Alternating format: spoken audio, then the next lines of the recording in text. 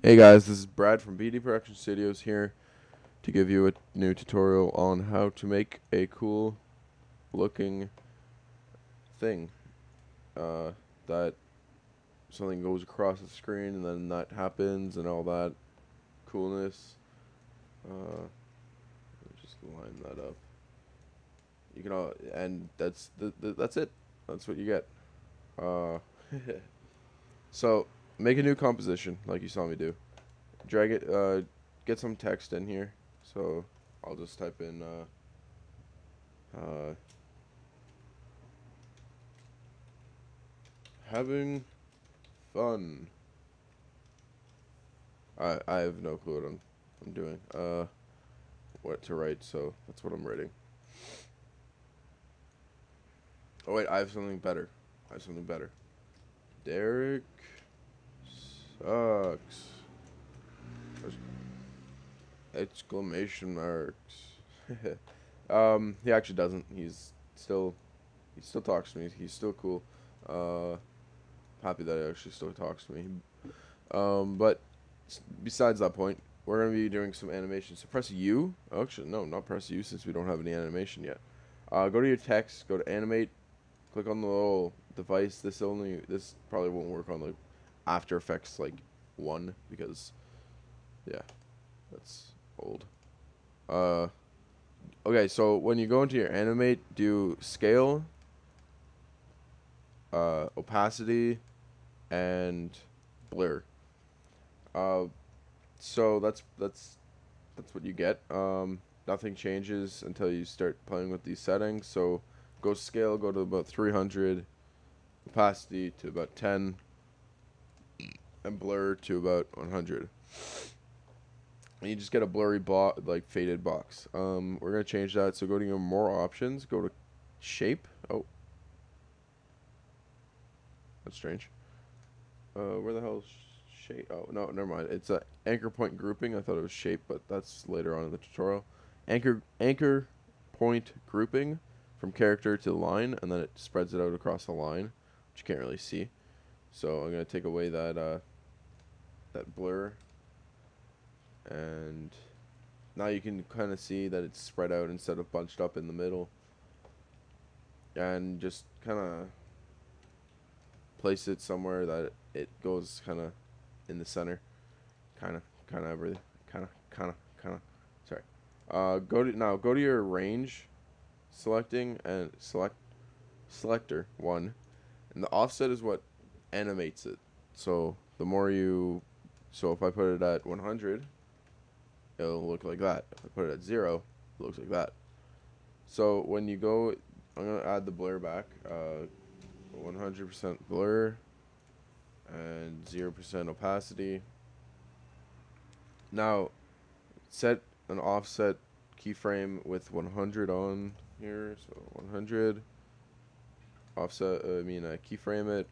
Uh, go about, I don't know, 30 frames uh, then change this to negative 100 and nothing happens. Oh my god. Uh, I suck at doing this. No. Uh, so what happens is that it, it renders it going, it renders it out, like where it appears and disappears, appears and disappears, as you can see right here. See? Appears, disappears, appears, disappears. We want to change that. So go to your, from your ramp selector, range selector, go to your advanced settings, and from shape, change it to ramp down. And this is what you get now.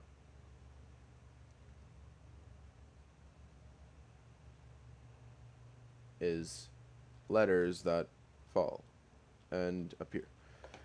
So you can also add some easy, easy low uh, I usually do. Just makes it a lot makes it a lot smoother. Uh, so now we are going to make a vignette around the video to make it just look that much better. That's more that much more awesomer. I I'm not I don't know what I'm talking about. So make a black solid, put it below your text. Uh, make a another solid, but make this a dark bluish or dark dark color should say, because it doesn't have to be. It doesn't really have to be blue. I just like blue. Uh, it looks the best. So now, what you have, make sure that the black solid is above your blue. Uh, take your ellipse tool, double click it, and it makes a perfect uh, circle around it. Press F, feather it out a bunch, just so it gets that like feathery line from feathering it out. Uh, then take add and put it to subtract, and then you have your vignette. You can, you can make the feathering big so it's not that noticeable. Now add, you can add a new solid or adjustment layer or whatever you want. I'm gonna do adjustment layer just because it, it if you do solid, it affects the background a little bit. So now go into your effects, go to generate, and then go to lens flare. And lens flare is a lens flare. I, I don't know what else I can say. Um, since the text goes this way, I'm going to put the ending point here, and I'm already at the ending, so I'm going to keyframe the flare center. There, I'm going to go back to the beginning. I'm going to keyframe it over here. So in 30 seconds, both things should appear. So, I was right.